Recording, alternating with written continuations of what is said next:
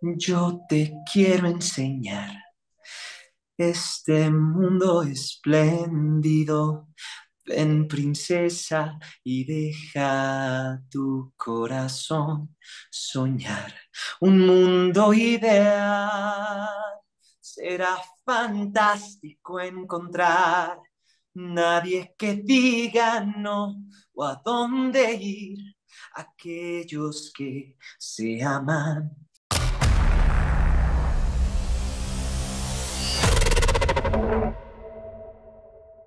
Amigos, ¿cómo están? Qué gusto saludarlos una vez más. Yo, bueno, estoy emocionado. Hoy sí tocó arreglarse, tocó peinarse. Este, y feliz de saludarlos porque vamos a platicar, pues ahora sí de todo un poco: teatro, doblaje, televisión, cine también, porque tenemos un invitado que es muy multifacético, es muy talentoso. Yo, yo siempre he dicho que admiro mucho que haya ya unas, un cierto tipo de figuras en el medio que están demostrando que el talento es lo que verdaderamente importa y es lo que queremos apoyar en este canal. Entonces, yo lo admiro, tuve el gusto de conocerlo hace, hace unos meses y ahora estoy muy feliz de recibirlo aquí en el canal. Desde que empezamos el, el proyecto ya de hacerlo más frecuente, pues yo tenía ganas de que estuviera por acá.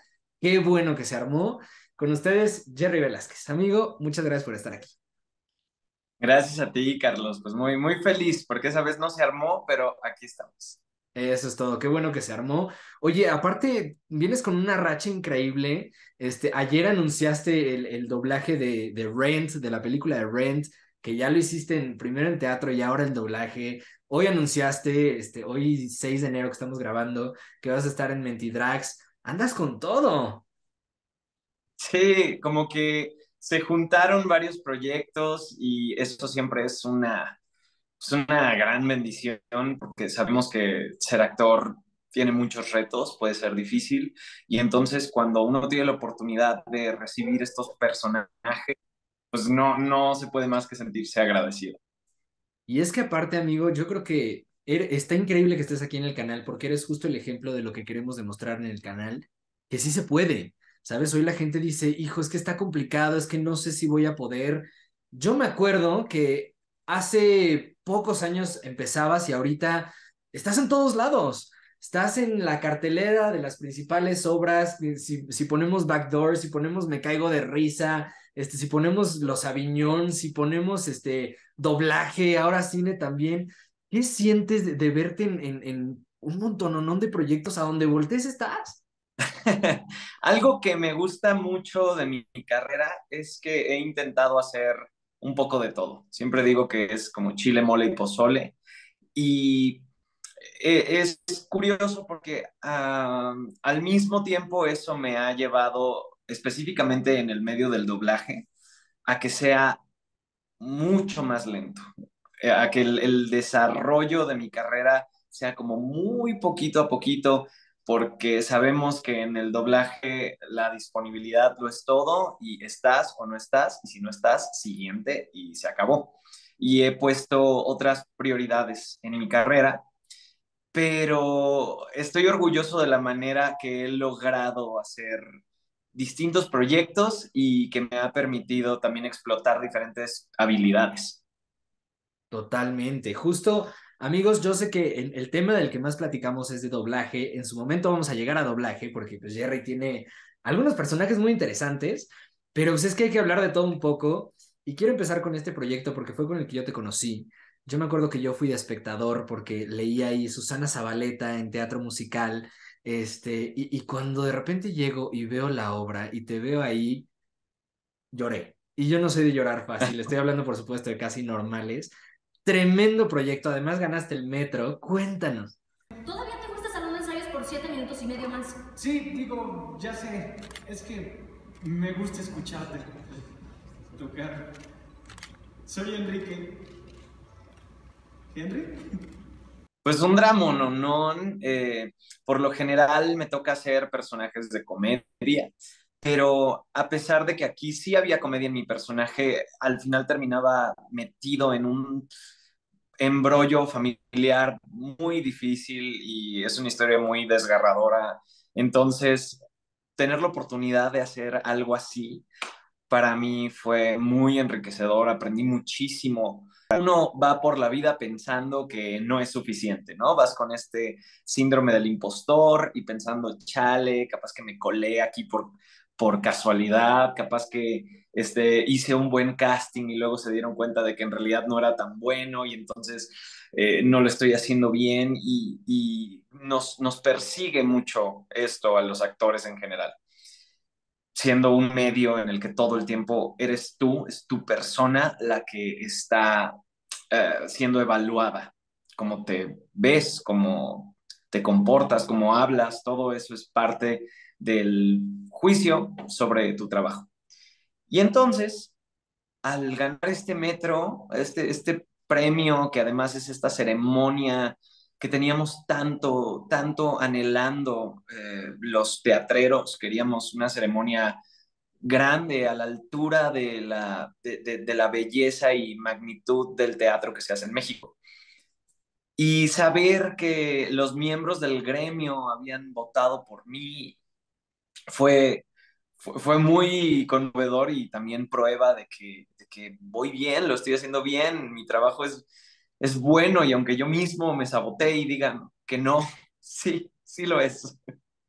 Totalmente. Yo me acuerdo que cuando estaba viendo la ceremonia en, transmisión y vi que ganaste en la categoría, fue actor de reparto, ¿verdad?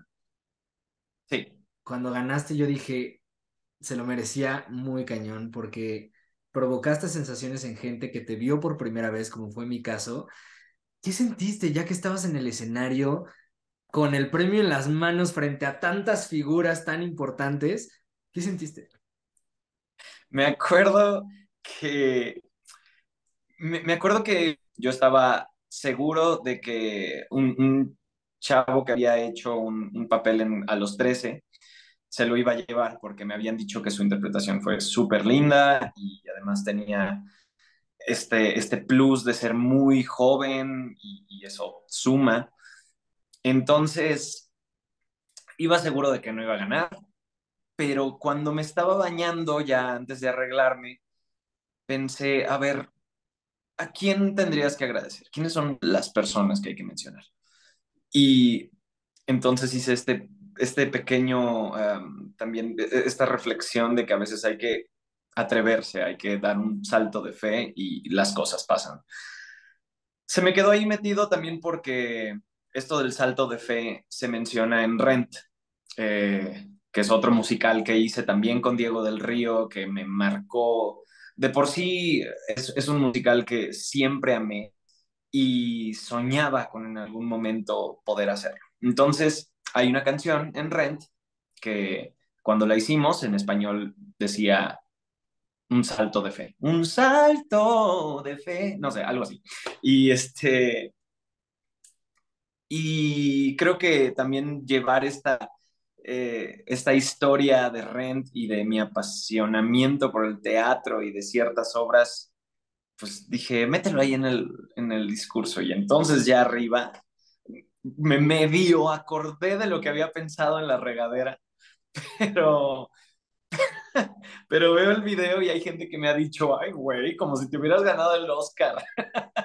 y para mí pues para mí, obviamente no es un Oscar, pero era algo que no esperaba y fue tan linda la ceremonia, tan grande, tan, tan importante que se, se sintió que fue algo muy importante.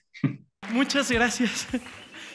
Quiero agradecer primero a Diego del Río por esta oportunidad, por creer en mí desde hace varios años que este proyecto se quería hacer. Quiero agradecer al elenco porque son grandes actores y trabajar con ustedes hace todo más fácil. Quiero agradecer a mi familia por siempre apoyarme. Quiero agradecer a Chava por siempre estar conmigo. Y quiero dedicarle esto a toda la gente que a veces duda de sí misma, porque a veces cuando te atreves a dar un salto de fe pasan cosas hermosas. Gracias.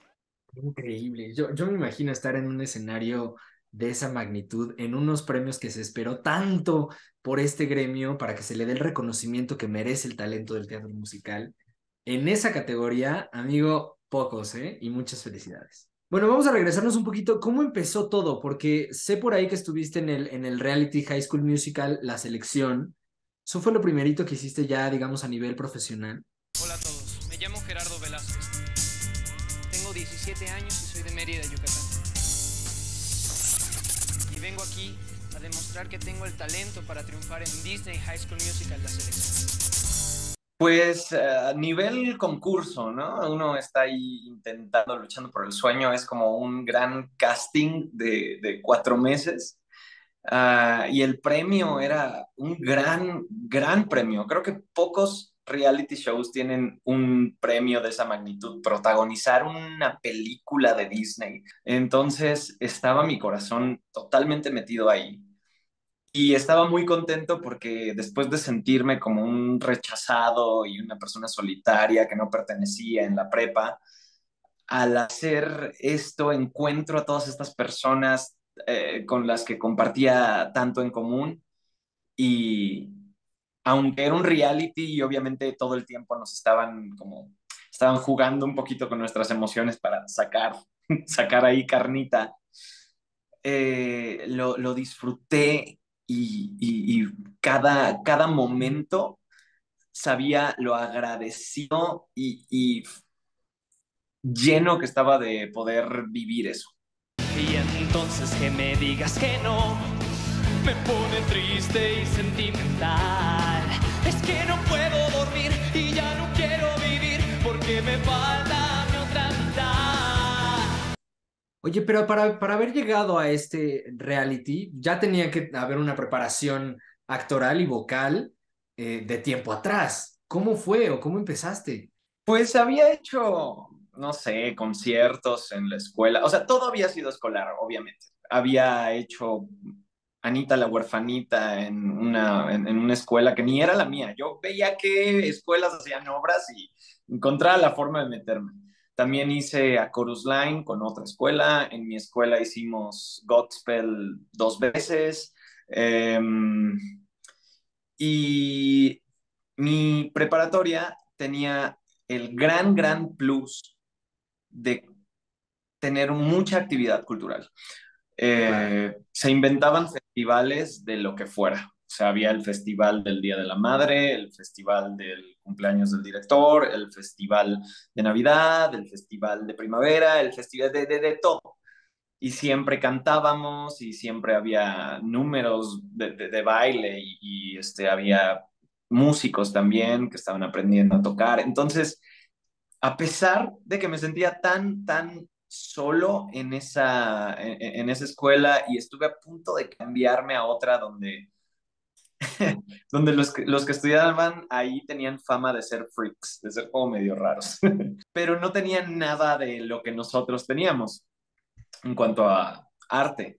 Así que me quedé ahí y creo que fue una gran decisión porque desarrolló todo, toda esta pasión y la poca experiencia escolar, pero bueno, no tan poca, la, la, experiencia escolar que fue bastante a través de los años y que me preparó para llegar a un casting sintiéndome más preparado. Ah, además, unos meses antes de hacer ese casting, yo me metí a clases de ballet a escondidas. Yo sabía que si mi mamá se enteraba, me iba a matar. O sea, sabía que era como, güey, que no puede, no puede enterarse encontré una escuela donde becaban a los hombres que tomaban clase, una escuela de ballet ruso y mi maestra era una rusa que prácticamente no hablaba español, estaba recién llegada de Rusia y, wow. de las pocas palabras de las pocas palabras que decía era de dos, de dos, para que como que hiciera un buen y entonces ya hice este, este casting para el reality y llegué con,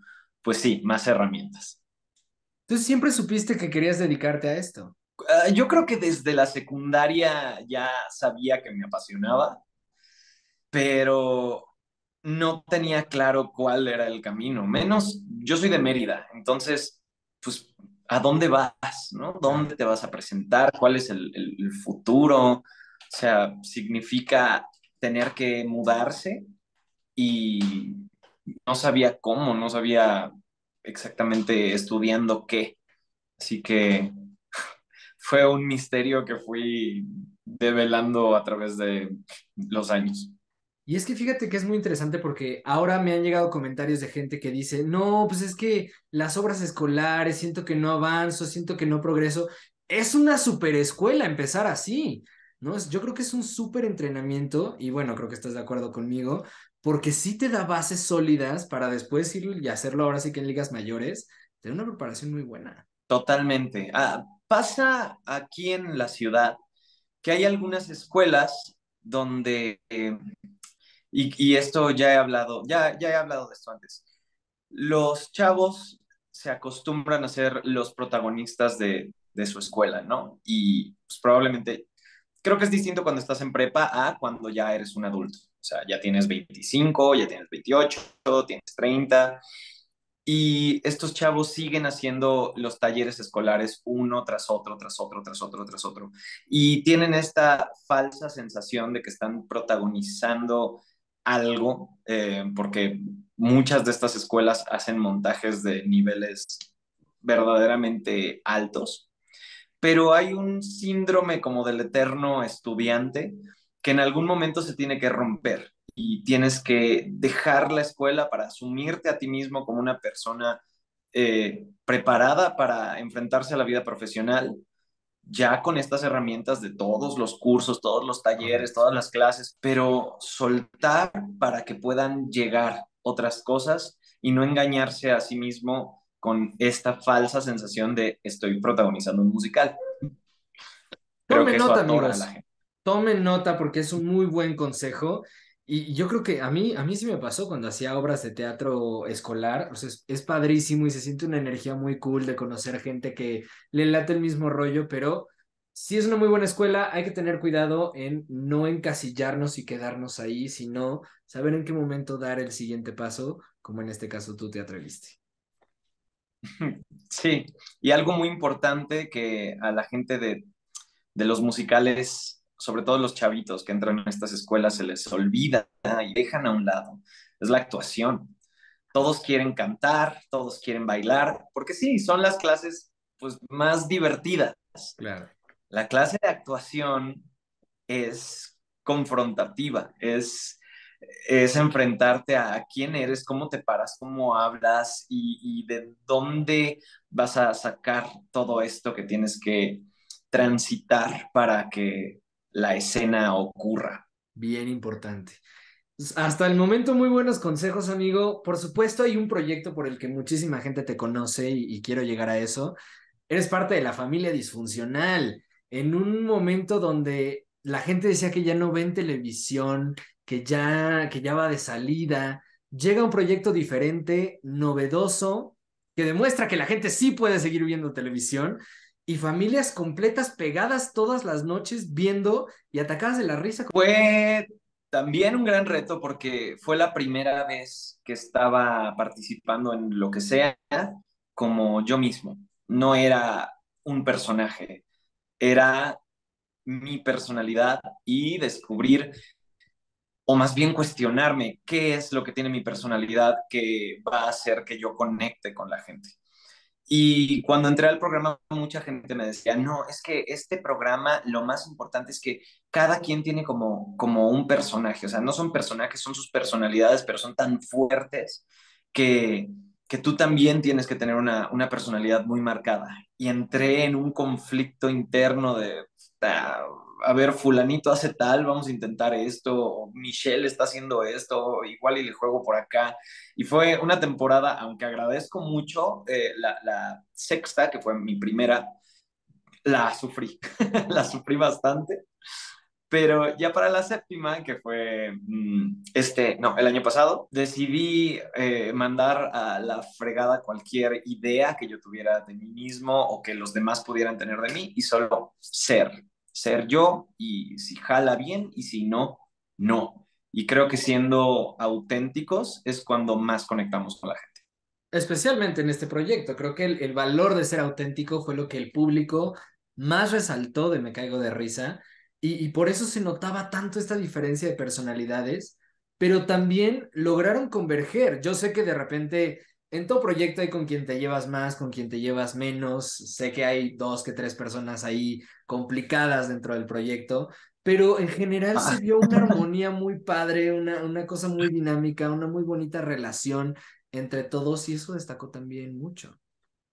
Sí, sí, creo que al final de todo logré sentirme cómodo y también me dio una lección, que esta lección la aprendí durante la pandemia también. Me sentía medio avergonzado, no avergonzado, sino que como actor, eh, yo pensaba, ok, tengo que ver películas como El Padrino, tengo que ver cine francés, tengo que este, escuchar música más independiente, cosas que no conozca, tengo que eh, tener otros, otros referentes. Y aunque sí es importante conocer de todo y nutrirse, eh, hay algo en lo que te gusta porque te gusta y ya. Todo este lado súper geek, nerd mío, que, que, pues sí, me encanta Disney, amo Disney. ¿Y qué más? Y me encanta el ballet y puedo ver ballet y ser el más feliz y puedo... Eh, Los musicales, obviamente, me encantan. Mucho tiempo borré de mis listas de reproducción los musicales porque pensaba, no, tienes que, tienes que eh, explorar otras cosas. Y como digo, aunque sí está bien explorar, ¿por qué negar lo que te gusta? Claro. A lo que sientes, lo que te toca por alguna razón.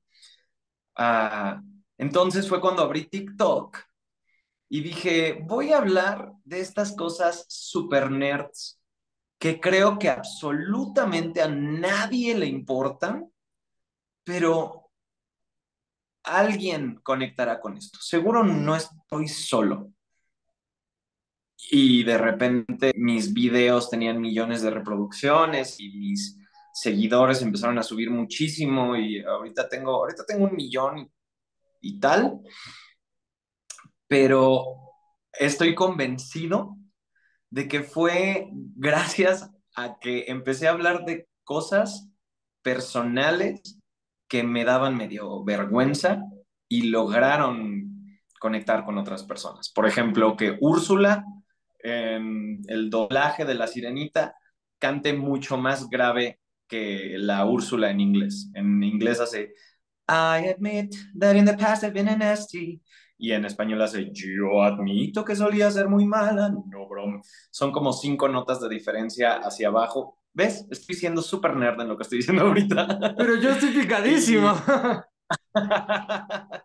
este, y, y, y por eso descubrí entre eso y me caigo de risa que eso que crees que está mal de ti o eso que crees que debería ser diferente a los demás, es precisamente lo que te hace único y lo más valioso de ti.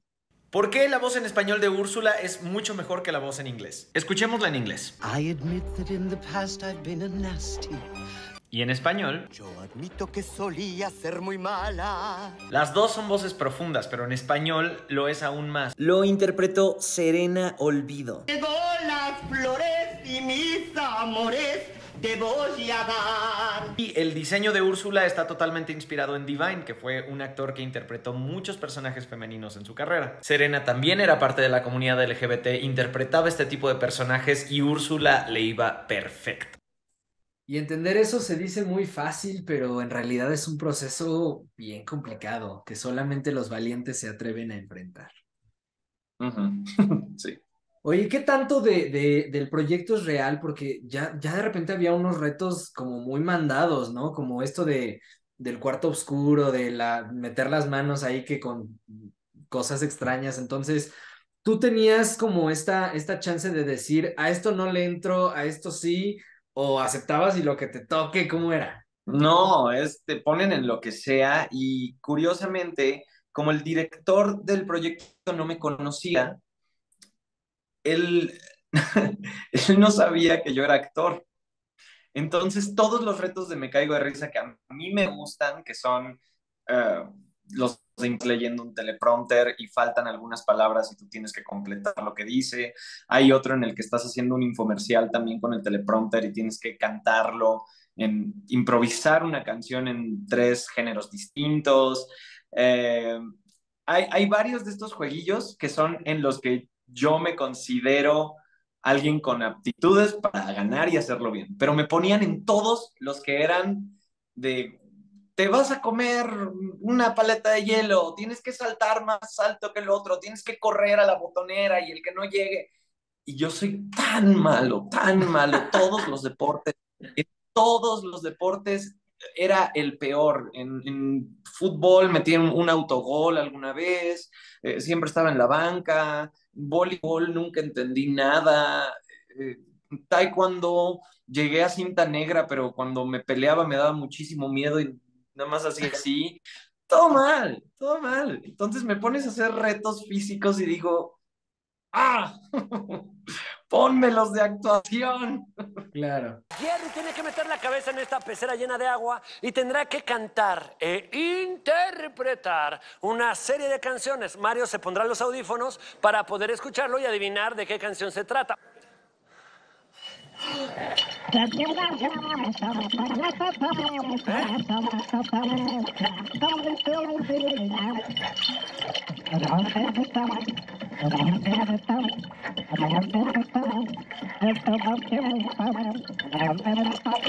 Wow, sí, sí, sí era un proyecto para ponerte a prueba, pero como te digo, yo creo que destacó el, el valor de la autenticidad eh, y, relaciones bien padres, o sea, es, bien sabido, por ejemplo, tu amistad con, con Michelle Rodríguez y, y, la dinámica que tienen es padrísima y esas son cosas que conocimos gracias a Me Caigo de Risa, ¿no?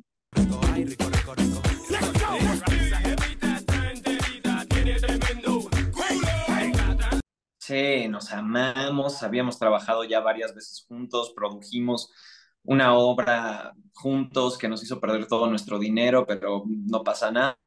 Este, eh, vivimos, vivimos cosas intensas y poder compartir con ella en el escenario, a pesar de que fue muy poquito porque Michelle anda en la locura. Anda en todo. Fue, es increíble.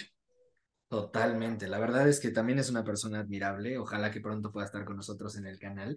Eh, pero eso es algo de lo que yo rescato. Esta, esta, estos bonitos recuerdos y estas bonitas amistades que a la gente le gusta ver eso. Le gusta ver cuando hay muy buena química, cuando hay buena conexión. En estos proyectos que de repente se hacen virales. Amigo, ¿qué onda? También, por ejemplo, con Backdoor y este video que se hizo súper viral en su momento. Una locura. ¿Qué onda, güey? Oye, Dame 5 gramos de la buena, ¿no? Sí, huevo. Son dos mil varos. Dos. Oye, pero eso es muchísimo, güey. Es que es de la nueva. Es orgánica, de Bolivia. Sí, le ponen música clásica para que crezca contenta. Sí, Backdoor es de, yo creo que de los orgullos más grandes de mi carrera y de lo que más disfruto hacer, porque estoy rodeado de un elenco de gente tan estúpidamente talentosa, tan admirable, que viene de otros backgrounds a los que estamos acostumbrados a ver en la tele. O sea, es, gente que hizo mucho teatro, gente que ha hecho mucho cine, y eso, eso le, le da ese toque especial que tiene el elenco. Yo creo que por, eso le fue tan bien, porque es gente increíble, gente sobresaliente. Has estado y una comedia distinta una comedia muy distinta, muy peculiar, me atrevería yo a decir. Eh, y, señalo que has estado en grupos bien padres, ¿no? En La Familia Disfuncional, en Backdoor, también Los Aviñón. Estos videos que, que llegaron a hacer en su momento con las princesas, más de 40 millones de views, es una locura. Justo en la comida lo estábamos viendo. Ahí viene el panadero como siempre, su mismo pan viene a vender. Las mañanas siempre igual, desde el día en que llegué. Un misterio para todos Sí, sí, hoy vi cuántas, cuántas vistas ya tenía y me parece una locura. El grupo nace porque estábamos haciendo un show de Queen, yo y el director de Los Aviñón. Y entonces me dijo, oye, tengo este proyecto en mente, como ves, y para mí las armonías, los coros, es algo que, aunque no tiene que ver con ser el protagonista, que por lo general es lo que busca el actor o el performer, las armonías a mí me vuelven loco. Y yo canto en un coro y escucho todo eso y, me vibra to- todo el cuerpo. Entonces me dijo, voy a invitar a otros tres cantantes. Y primero hicimos un show ahí como para ambientar en una exposición de comida, una cosa ahí X, X, así una chambilla.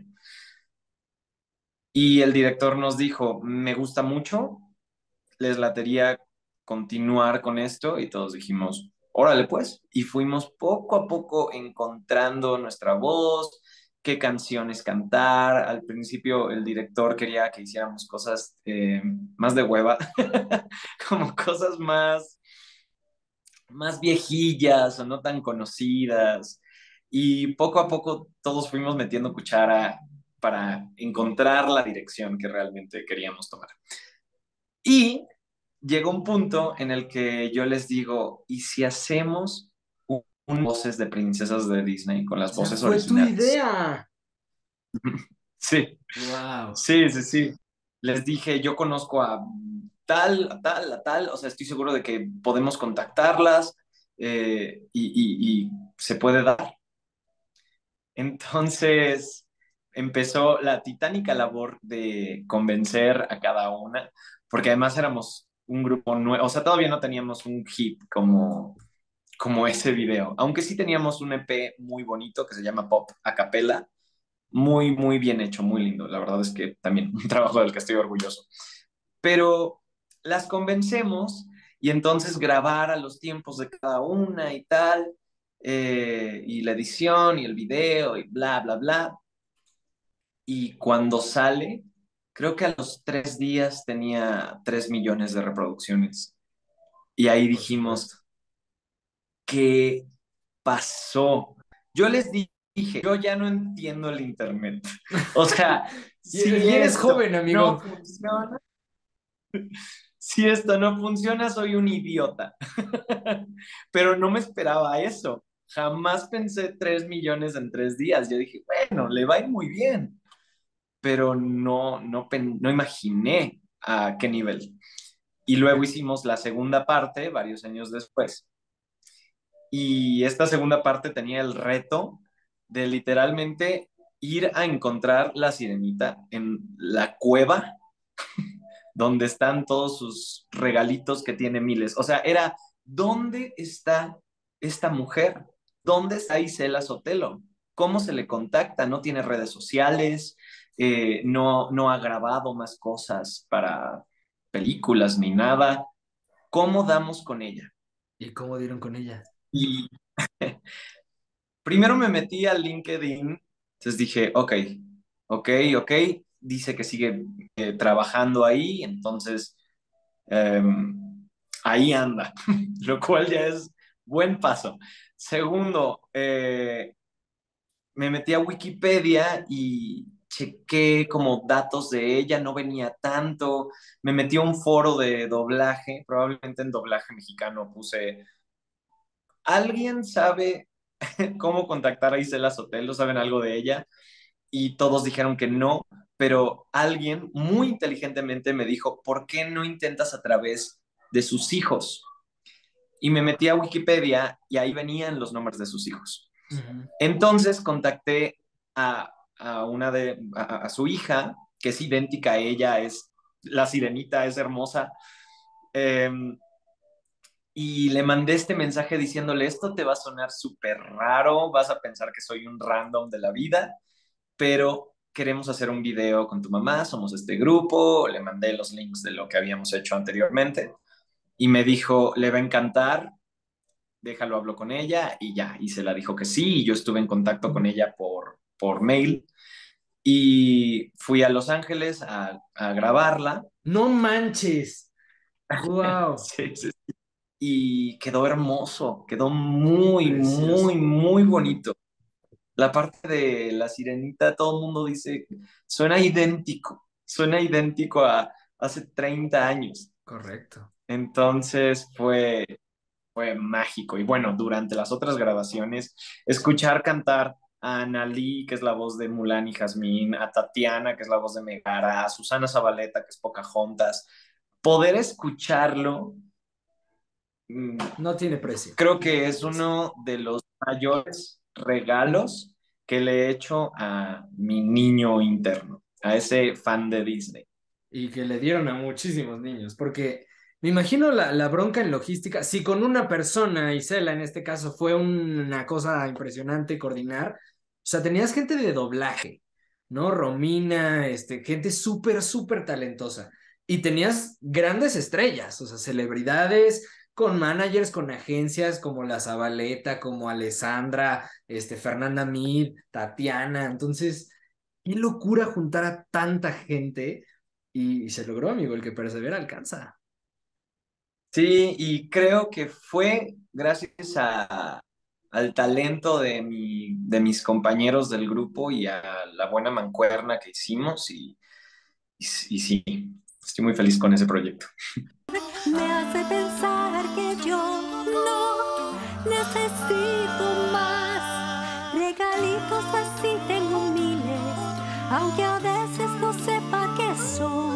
Ahora sí, amigos, eh, hablemos de doblaje. Este, perdón que pusimos tanto preámbulo hablando de otras cosas, pero creo que es importante hablar de chile, mole y pozole, como decíamos, porque pues es que hay mucha tela de dónde cortar para platicar con nuestro invitado de hoy. En doblaje has hecho personajes increíbles, pero ¿cómo fue tu primer acercamiento con este medio?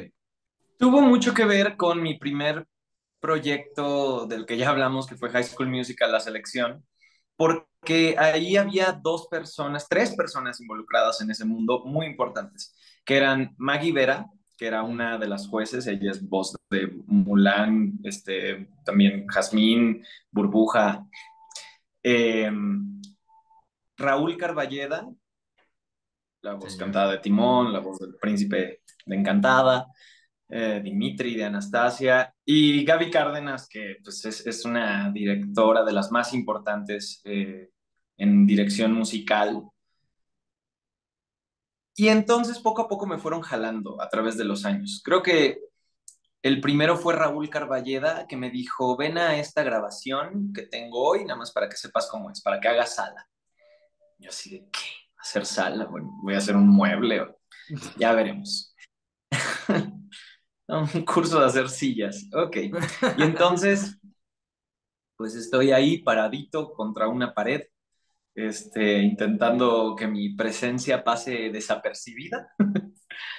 Mientras Raúl grababa, me, me dice, eh, faltó no sé quién, tenía que venir, no sé quién no vino. ¿Lo haces tú?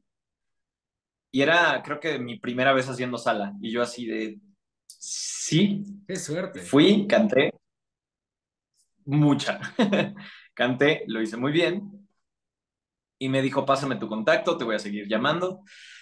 Y a partir de ahí empecé a grabar muchísimo para Phineas y Ferb. Uh -huh. Grabé, creo que tres, cuatro años eh, para diferentes temporadas, muchísimas canciones. Porque brincas tanto, dinos la razón. APD, ardillas por doquier. Y no son pollos ni ratazos. APD, ardillas por doquier. A luego ver, luego de ir a rapear, tal vez te puedas mover como yo. Y este, a la par, Maggie Vera también me, me jalaba para grabar coritos o canciones o un mini personajito.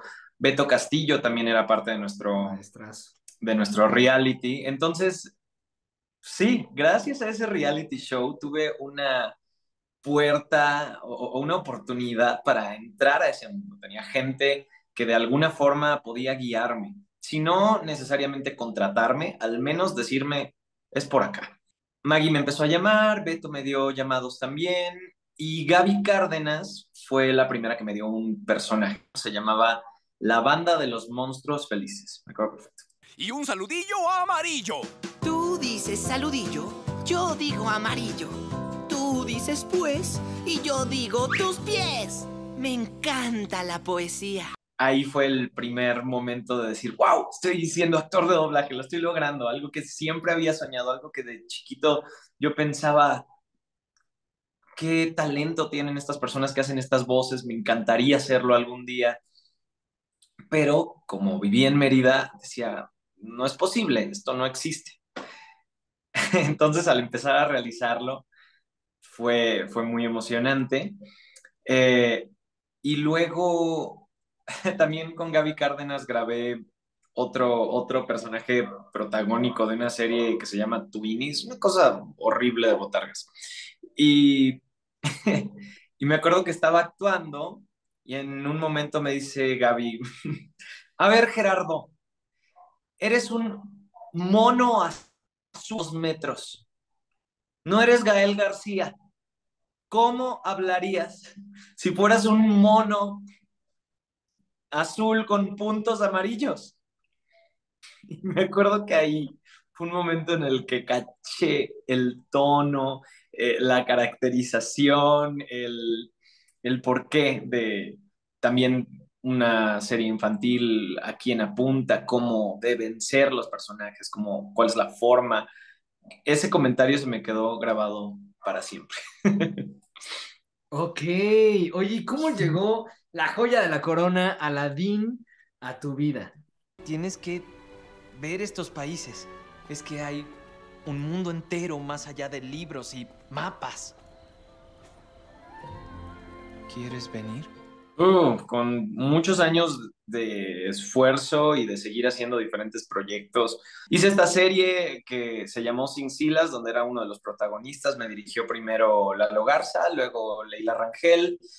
Luego creo que ella me llamó a hacer algunos videojuegos. Eh, con Lalo hice otra serie que ni me acuerdo de cómo se llamaba, donde también era uno de los protagonistas. Y eh, con, con Maggie algo hice de mi pequeño pony. Eh, luego con Lalo vino algo de Dragon Ball y, y me dirigió Germán López en Más allá del jardín, que creo que también es un proyectazazazo. Me acuerdo que cuando hice el casting me dijeron, esto es muy importante, en inglés lo hace Elijah Wood y, y le está poniendo mucha atención Cartoon Network a, al proyecto tenía tantas, tantas ganas de hacerlo, la animación era tan hermosa, el concepto tan interesante, eh, que después de hacerlo, obviamente mientras lo hacía me daba cuenta de, de, de, lo hermoso. Para buscar el tomo de lo desconocido hay que caminar mucho. Llegaremos pronto. Tal vez podríamos montar un ganso. Tal vez es demasiado pequeño, Greg. Creo que un caballo funcionaría mejor. O lo único que hay que hacer es... Oye, ¿a dónde fue Greg? Y Germán también fue un súper maestro para mí. Creo que es de las pocas personas que en la vida me ha dicho, échate tres páginas así, seguidas, venga, tú puedes. Y así de, por lo general nos vamos loop por loop, ¿no? Claro, claro. Y tres páginas era como, mmm, ok. He visto gente, alguna vez hice sala y estaba grabando Humberto Vélez y lo vi oh, grabar como, ¿cómo? ¿Cómo puede estar este hombre tan mimetizado con el personaje y tener esta intuición tan clara que sabe cómo? Hay algo que también he pensado muchas veces. Me estoy desviando, pero sigue siendo, sigue, sigue siendo doblaje. Creo que al grabar loop por loop, aunque nos da la oportunidad de ser mucho más específicos y tal, muchas veces nos perdemos de la oportunidad de poder tener una progresión en la actoralidad mucho más orgánica. Tenemos que acordarnos de cómo fue la intención en el texto pasado y irla progresando de a poquito, cuando al hacer varias hojas, que es una locura y es muy difícil, podemos generar esta progresión que naturalmente se daría en, en una escena haciendo televisión. Uh -huh. Así que me gustó esa oportunidad de hacer eso. Y cuando estuve en Argentina, que es otro de los proyectos que hice con Disney Channel como, como actor, no como actor de doblaje, eh, hice Cuando toca la campana, fueron dos temporadas, y luego Violeta. Violeta se grabó en Argentina y me invitaron a hacer doblaje ahí. Y grabé un episodio de Once Upon a Time, wow. donde yo era... ¿Qué era? ¿Era un lobo? No, no era un lobo. No sé. Sí, era un lobo. Y ahí también me dijeron, como, como que ahí lo normal es irte una página entera. Y yo les decía, no, por favor, no, esto es demasiado para mí. todavía no estoy en ese lugar, no soy Humberto Vélez, espérame, Ok, tengo ok. 22 años, espérame. Ok. Ah, pero fue, fue un- una gran experiencia decir que hice doblaje en otro país. Ahorita que me acordé, ¿En serio? ¿Para qué sirve esta capa vieja? No la quemes. Creo que... te protege de algún mal. ¿De qué estás hablando? ¿Crees que no reconozco un lobo cuando lo veo? Qué se me hace, se me hace muy loco. Eh, ya voy para Aladdin, perdóname. No, adelante. Luego, ah, ¿qué hice?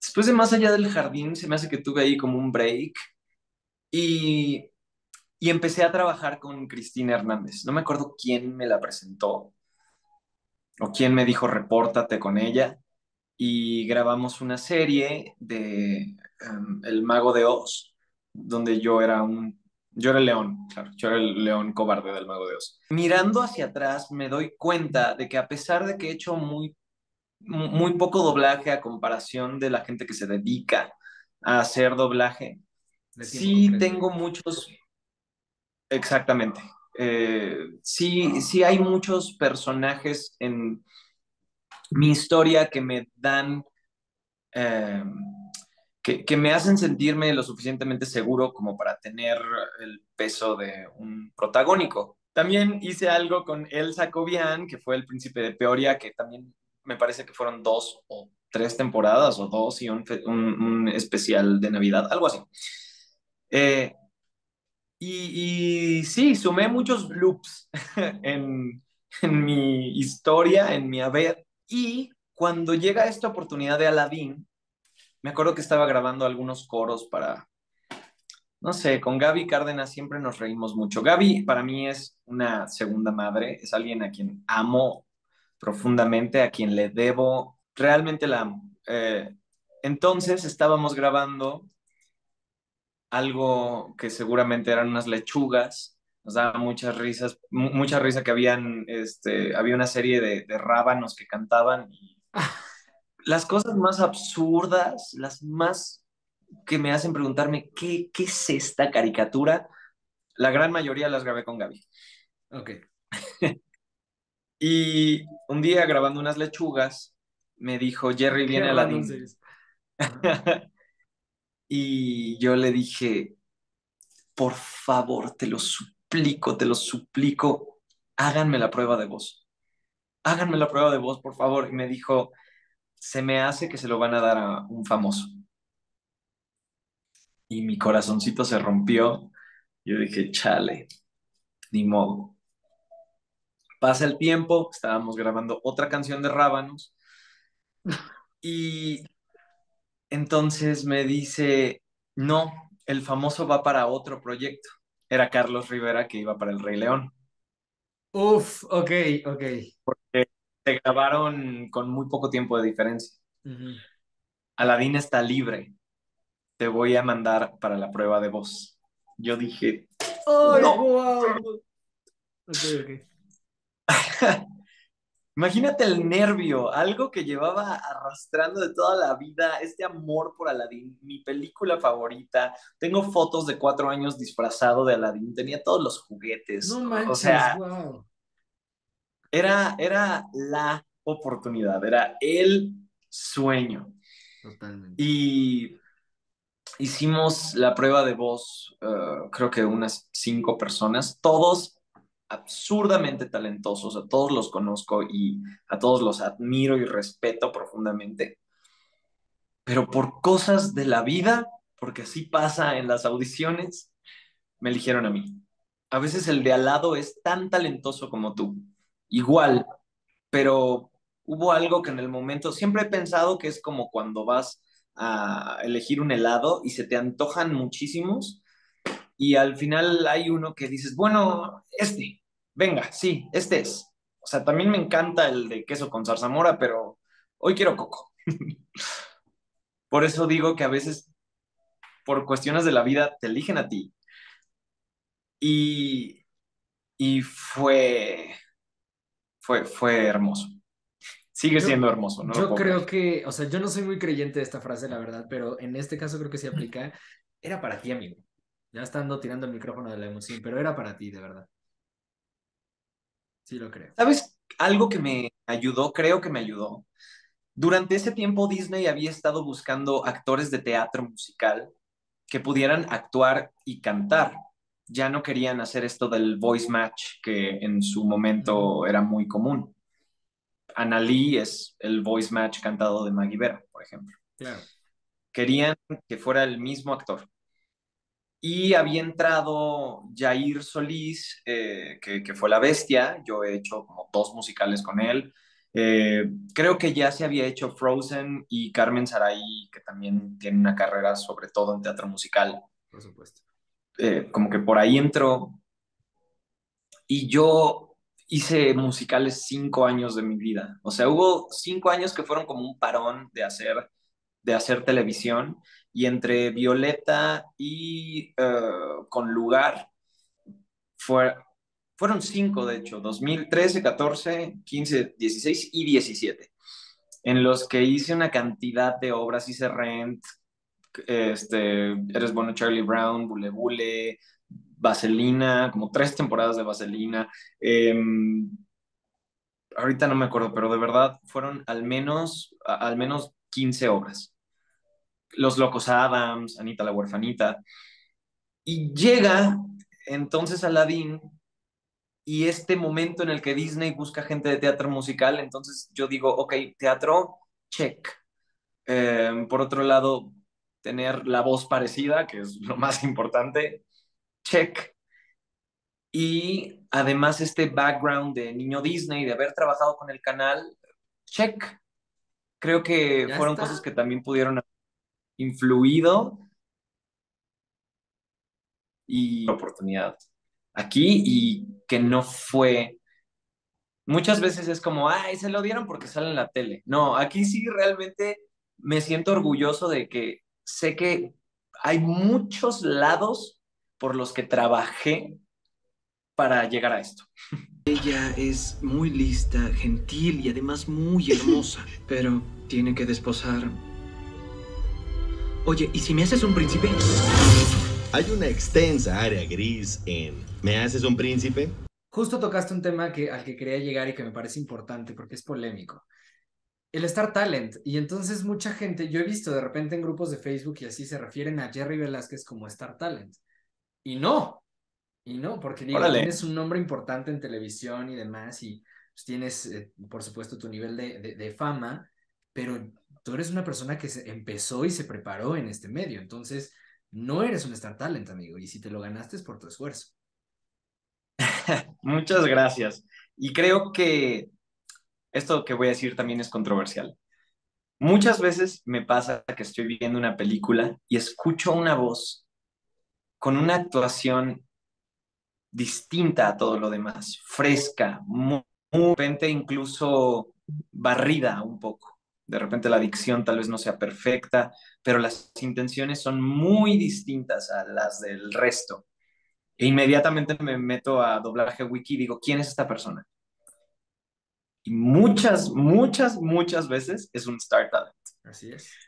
Porque, por supuesto que prepararte actoralmente te va a ayudar a la hora de estar parado en el atril y tener que interpretar un personaje. Creo que hay mucha gente que se dedica al doblaje. Eh, hay gente obviamente impresionante, maravillosa y talentosa, que ya quisiera yo. Y hay otras personas que se dedican a dar tonitos y que son los que hablan así y que están actuando y todo es la misma cosa. Eso ¿no? pone loops. Ándale, pone loop. Pero no solo, no es solo pone loops, sino que eh, se tiene una preparación actoral. Y entonces llegan Star Talents, sobre todo cuando sí son actores, que a mí me sorprenden mucho y creo que le aportan bastante a la película o la serie o lo que sea. Entonces yo lo que digo es, si la persona es talentosa, quien sea, da igual quién sea y de dónde venga y si hizo, eh, viene de radio si es un influencer que solo hace TikToks o, o que ni siquiera hace personajes como Paco de Miguel, o sea, un güey que tal vez se dedica a hablar de comida y resulta que es un super actor, alguien con toda la naturalidad, venga, venga, sí al talento y no a la imposición por otras cosas. Es correcto. Y qué bueno que diste tu punto de vista, porque siempre andamos como recolectando puntos de vista respecto a esto que es polémico. Así que esa es la postura de Jerry Velázquez, amigos. Antes de pasar a las preguntas de cierre que me parecen importantes, eh, ¿será que podemos escuchar a Aladdin? Ah, sí. ah, creo que algo de lo que intenté con Aladdin fue que sonara a mí. Entonces, eh, tal vez hay algo ligeramente más dulce. O sea, tal vez si tengo que pensar en hablar como Aladdin, sería esto. Es un poco más, con, con más aire. Yo hablo tal vez como un poco más acá en la garganta, medio ah, gangosón. Y él es más, más liviano. Entonces, ah, no sé. Yo te quiero enseñar este mundo espléndido. Ven, princesa, y deja tu corazón soñar un mundo ideal. Será fantástico encontrar nadie que diga no o a dónde ir. Aquellos que se aman. Eso, ahí lo tienen, amigos. Por supuesto, teníamos que escuchar a Aladdin. Qué padre, amigo, qué gran oportunidad. Eh, desde mi punto de vista lo hiciste increíble. También en esta serie de, de Monsters at Work, el personaje que hiciste está increíble, también me encanta. Estás nervioso, lo entiendo. Solo quisiera poder regresar a la energía de gritos, ¿sabes? Es para lo que soy bueno. Y tú podrías regresar a la planta de sustos, ser el líder uno otra vez. Eh, y tienes una buena carrera en doblaje. Tienes una buena carrera en todo, amigo. Ya debutaste en cine también. Son un poquito desordenados. Nunca tira nada, pero te va a gustar su estilo. ¡Bambi! ¿No me dijiste que tenían perro? ¿Le quieres dar un besito? ¿Qué tal eso? Ay, pues por fin se me hizo que la película sí saliera, porque ya había hecho una que no salió. Entonces, lo impresionante de esta fue que la filmamos en febrero y salió en diciembre y salió en 800 salas del país. O sea, fue un, fue un estreno importante y la verdad veo, veo mi trabajo en la película y a pesar de que tenía este fantasma del cuerpo y de chale, subí de peso, no me veo como hace dos años, el personaje es el protagonista, el novio ideal, whatever, eh, me veo en la pantalla y digo, sí, sí, porque el novio ideal no tiene que ser ese güey con cuadritos y e independientemente de quién sea y cómo se vea, veo una buena actuación y los actores somos nuestros peores críticos. Entonces, tener la capacidad de verte y decir, qué bien, es algo que, que inmediatamente te hace sentir orgulloso. Mi suegra me odia, se llama la película, eh, al lado de Itatí Cantoral, además, señora eminencia en actuación. Sí, un ejemplo, ella hizo a la mamá de Mei Mei en Red. Claro. Lo hizo increíble. Súper bien. Lo hizo maravilloso. ¿Por qué? Porque es actriz. Exacto. Así es. Deberían de ponerla a cantar la guadalupana en doblaje. Estaría increíble. Oye, amigo, pues has hecho, como te, como te he dicho varias veces, teatro, televisión, de comedia, no de comedia, te has ganado premios, has hecho doblaje, ya estás en cine también, eh, has grabado en otros países para varias cadenas. ¿Qué sigue? O sea, ¿qué te gustaría hacer que no has hecho? Yo, por ejemplo, no sé, ¿te, te, te gustaría lanzar música, ser cantante? ¿No vas por ahí? Cuéntanos. La música me da la carrera más difícil de todas. Creo que es invertir mucho tiempo, mucho dinero y ya para estas alturas del partido, yo mm, tendría que dejar todo. Creo que no se puede empezar una carrera seria en música como hobby. Así como side job. Podría grabar un EP tranquilamente así como lo hicimos con los Aviñón, que era un proyecto más por el amor a, a- a hacerlo que por lanzar un proyecto y dedicar mi vida a eso. Sí, sí, me gustaría mucho. Lo intenté una vez, no supe qué tipo de música hacer, entonces lo abandoné y dije, "Eh, mejor no. Em, pero pues ahí sigue, sigue siendo una idea que me gustaría explorar. Ah, de, de, de qué viene específicamente? Vienen segundas temporadas de varios proyectos que hice en eso. Eh, el año pasado filmé otras dos películas. Eh, de doblaje, ahorita se va a estrenar una- un proyecto que hice con Bruno Coronel, que él me dirigió en Dead End, que es una serie súper bonita. Vean Dead End, por favor. Es, está en Netflix y el protagonista es un chico trans que trabaja en un parque de diversiones paranormal y yo soy su novio. Entonces, ya ahí, o sea, ya toda esa premisa es ganadora. Ah, ¿Qué más? Ah, Bruno me dirigió ahorita en una cosa que va a salir, que no puedo decir, pero bueno, es un anime. Es un anime, no, es un anime. Eh, también con, con muchos actores de diferentes backgrounds. Me dijo Bruno que estaban buscando eso, que hubiera gente de teatro, que hubiera gente de tele, que hubiera gente de doblaje, para pues ahí ju- jugar con la actoralidad. Eh, ¿Qué más? Es que hay varias cosas que ni- no puedo mencionar aún, pero que ya vienen. Viene otra temporada de una serie que hice para una importante cadena de streaming y que quisiera hacer, quisiera, quisiera hacer más doblaje, eh, quisiera que me dieran la oportunidad de tener personajes ah, con un arco dramático importante y retador. O sea, me encantaría doblar un live action que sea un dramononón. Eso me encantaría. Tener la oportunidad de decir esas líneas que en los guiones que tenemos la oportunidad de hacer en México, pues no van a estar nominados al Oscar, ¿no? Pero hay películas nominadas al Oscar que con textos que actores mexicanos están diciendo para el doblaje, me encantaría. Y bueno, en teatro ah, hay, hay otra obra que voy a estrenar eh, a mediados de año.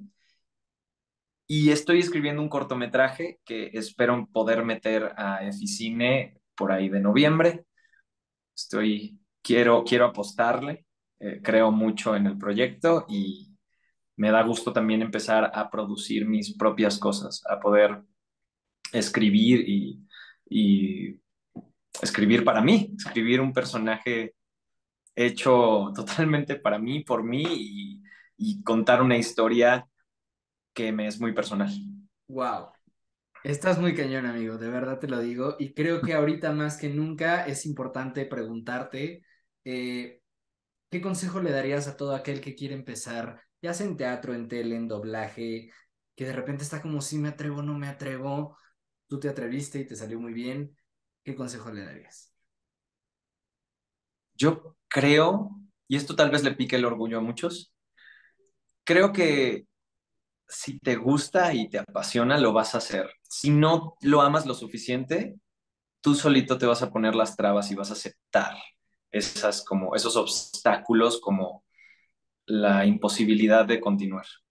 Pero cuando sientes el hambre por, por el arte y por, lo que amamos hacer, lo vas a hacer aunque sea en la calle, aunque sea este, en, en, en la obra escolar o en, en la pastorela de la iglesia, lo vas a hacer donde sea. Así que déjate llevar por tu impulso y perfeccionate. Toma clases. Hay clases en prácticamente todos los estados con las secretarías de cultura. Sí, probablemente sean en las capitales de cada estado, pero si te interesa, ve si puedes ir a, tomar estas clases. Eh, no todo tiene que ser eh, algo que involucre una inversión al principio.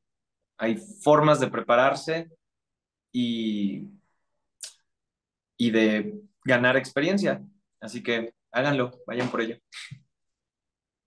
Amigo, la verdad es que este, yo, yo creo que siempre lo digo, es requisito que, que haya una admiración al, al invitado para que esté aquí en el canal, porque siento que es la manera más genuina de poder transmitir una idea de hacerle a la gente o motivar a la gente a que cumpla sus sueños. Pero si hay un caso en particular que a mí me motiva y a mí me inspira de todos los que han estado en el canal, eres tú. Eh, porque de verdad te has atrevido a hacer muchas cosas, lo has hecho muy bien, porque me da mucho orgullo ahora que ya nos conocemos y que, y que platicamos y estamos en contacto. Cada vez que te veo en un billboard o cada vez que veo un promo donde dice Jerry Velázquez en tal lugar o que escucho un personaje con tu voz, me da mucho gusto porque la estás rompiendo, porque veo a esta gente, me caigo de risa y, y, hoy siento que son la cara de la empresa, ¿sabes? Y veo a Faisy en todos lados y veo a Michelle en todos lados y te veo a ti y eso necesita este país. Gente realmente talentosa que demuestre que sí se puede. Tienes una voz espectacular, tienes un talento maravilloso, entonces sigue así, que la estás rompiendo y la vas a seguir rompiendo y nos motivas a muchos en tu proceso. Entonces, eh, hoy nos demostraste en esta plática también que de repente hay eh, cosas que nos hacen dudar, cosas que de repente nos hacen no estar seguros de nosotros mismos, tener ansiedad, tener estas crisis de no saber qué hacer y que de repente creemos que las, las celebridades o las personas famosas no lo sienten. Y claro que sí, pero el chiste es saber salir de esos, de esos puntos, eh, ir hacia adelante y, demostrarse a uno mismo y a los demás que sí se puede. Entonces, para mí eres eso, amigo. Muchas gracias por estar aquí. Muchísimas gracias, Carlos, y, pues un saludo a todos los que te siguen y muchas felicidades por este proyecto porque también has tenido invitados increíbles y, y esta hambre de la que hablamos, de hacer más, a pesar de, de lo que sea. Hay una pandemia, luego en mi casa, ¿cuál es el problema? Así y empezaste y arrancaste y ya tienes esto construido. Y muchas gracias de verdad por estar aquí. ¿Dónde te seguimos, amigo? Jerry Velázquez en todos lados, en mi TikTok, en Instagram, en Twitter, todos, por todos lados ando ahí eh, posteando cosas, contenido cotorro, diría yo. eh, cantando con un poco de comedia, tal, y, y, pues por ahí nos vemos. Intento ser cero poses, cero como esta imagen perfecta que luego se quiere dar. Intento ser un poquito más, pues más yo, por lo que ya les conté, creo que es algo que genera cosas buenas, así que si quieren conocerme un poco más, nos vemos por ahí. Eso es todo. Amigos, los invito a que me sigan en eh, Twitter y TikTok como Sagaon Carlos, Instagram Carlos Sagaon Ruiz. Suscríbanse al canal porque de verdad el chiste es platicar con gente que inspire. También en lo personal, amigo, qué padre lo, lo que saliste a decir hace unos días. Eh, mucho valor, mucho peso y también está increíble. Entonces, eh, pues nada, espero que les haya gustado y nos vemos la próxima semana. Cuídense mucho.